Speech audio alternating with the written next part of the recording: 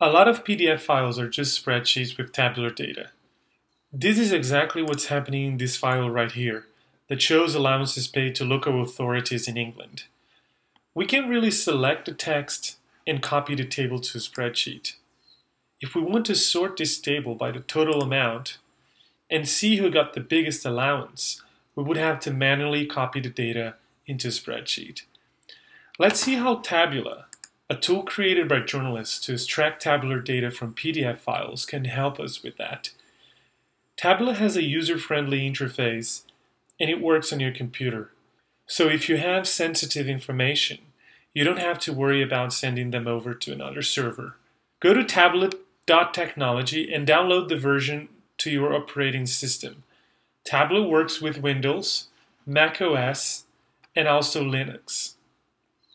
You will also need the latest version of Java installed in your computer.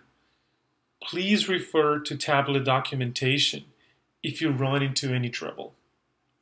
When you run Tabula, it will open a tab on your browser. This is expected.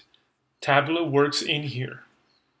Click Browse and choose the PDF file. The link is on the course page. Click on Import. Here on the left, you see a thumbnail of the page, and the page itself is on the center. Select the table you want to extract. You just have to click and drag.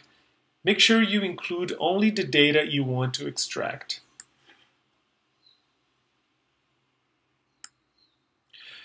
Click on the green button and wait.